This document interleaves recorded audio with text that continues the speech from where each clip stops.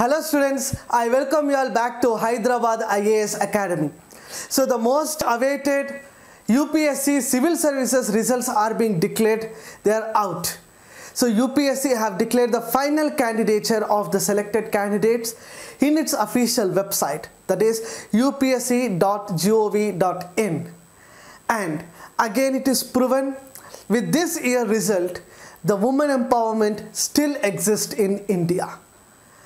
The All India ranker, that is All India rank 1 goes to Miss Shruti Sharma.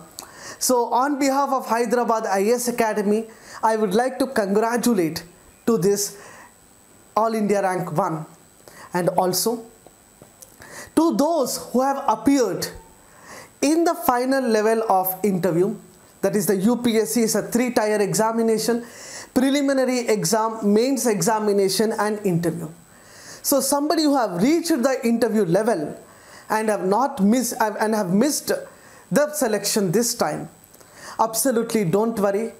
The moment you have reached the interview you are already selected. You are already a winner. The nation also does recognize you.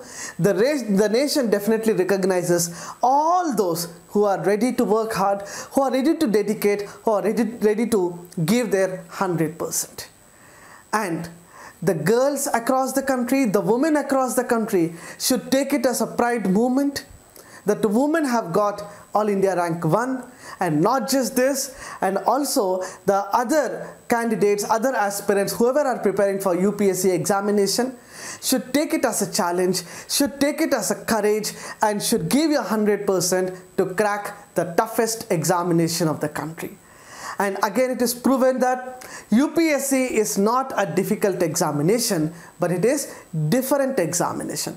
With a very minimal strategy with a hard work definitely each and every one of you can also crack this examination.